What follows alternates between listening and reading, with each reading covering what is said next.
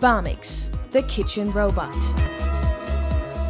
The processor can be used to chop or grind dry food. In the case of small quantities of spices, grind briefly then insert the powder disc.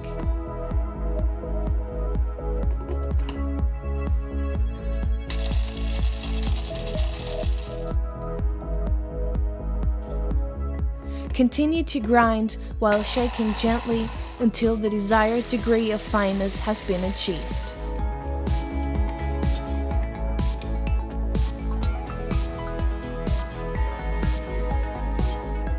For larger quantities of spice mixes, work without the powder disc.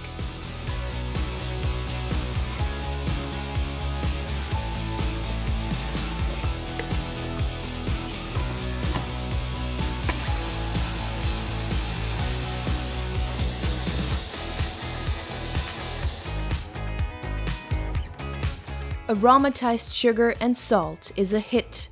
Lemon lime salt is being produced here, ideal for seasoning meat, fish, and salads.